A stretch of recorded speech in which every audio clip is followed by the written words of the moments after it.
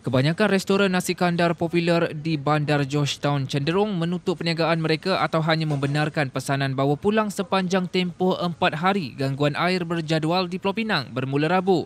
Pengurus restoran Din Maju Nasi Kandar, Muhammad Ismail Seni Muhammad berkata ini kali pertama pihaknya terpaksa bercuti buat sementara waktu disebabkan masalah bekalan air dan menjangkakan kehilangan perolehan jualan mencecah RM50,000.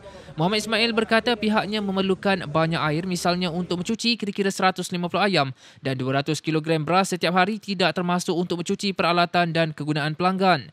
Sementara itu, pengurus restoran Nasi Kandar Pokok Ketapang Muhammad Uvas Muhammad Jamil berkata pihaknya sejak awal lagi membuat keputusan untuk menghentikan operasi sejak pengumuman isu gangguan air oleh Perbadanan Bekalan Air Pulau Pinang 8 Disember lalu. Sementara itu, Wakil Pengurusan Restoran Hamidiah, Syazwani Abdul Rahim berkata pihaknya sanggup membelanjakan RM18,000 untuk menyewa 30 tangki air dengan kos RM600 setiap satu daripada syarikat swasta untuk kegunaan restoran cawangan di Lebuh Campbell.